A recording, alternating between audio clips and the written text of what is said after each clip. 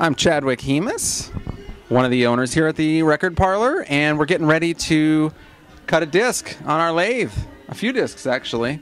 Uh, we're going to record Magnolia Memoir set uh, direct to disc, and uh, yeah, should be fun.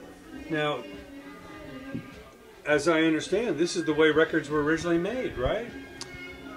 Well, yeah, Back I in mean, the old days of Benny Goodman, the orchestra, they, they performed. They didn't go in and multi-track and mix. yeah, absolutely. You, you know, you would have gone straight to this, uh, maybe a tape machine, but a lot of times you're going straight into a lathe. Yeah, absolutely. And um, this unit is a you know mono unit as well. Uh, it's, it's pretty old school. Yeah, you know. Well, please, kind of, kind of show us how this all goes down.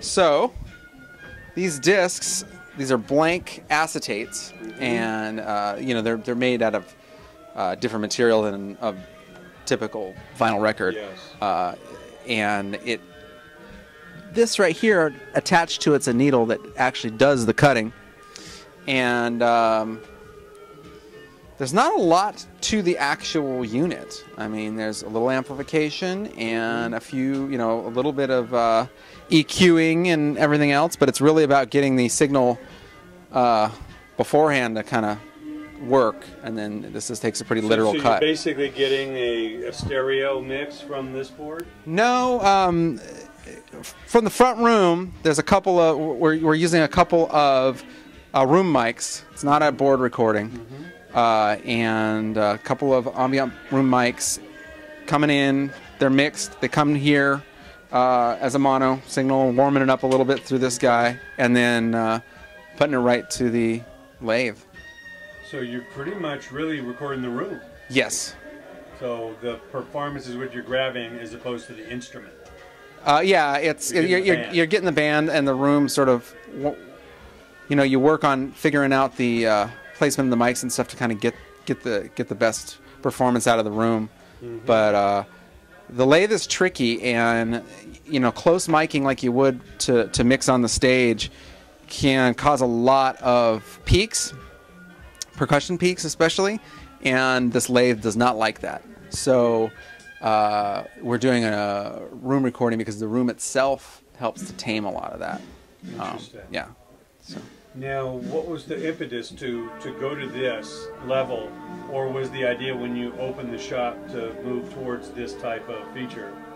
Yes, uh, it's the latter. Yeah, yeah, absolutely. You know, as we get, you know, more and more experience with doing the the events here, uh, this was definitely the direction we're going to go because we're going to build a uh, kind of a full studio back here anyway. So uh, this is just part of it. You know. Amazing. So, pretty much when they hit the last note tonight, the record will be done. Pretty much, yeah, yeah, absolutely. from what I understand, this is going to be available National Record Store Day. Uh, yeah, well, you're gonna want to, um, you know, we'll take this and, and get it pressed to proper vinyl. Uh, you know, there'll be some mastering in between the, the two, but that's about it. You know. Yeah. Wow. So as all this newfangled technology is moving forward, in essence, you're using something from the past to, you know, please the music lovers. Yeah, absolutely. I mean, I, it, it won't be for everybody, Yeah. you know, but yeah, I think some people will love it.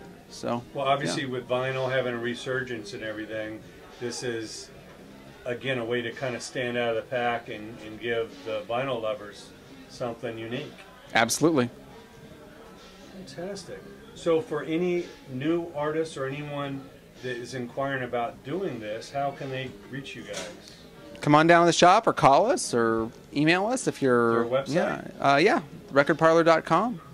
Yeah, absolutely. Record Parlour, P A R L O Oh, you are, yes. Fantastic. Well, thanks so much. We can't wait to see this go down and be a part of history. Right on. Great, guys. Very much. All right.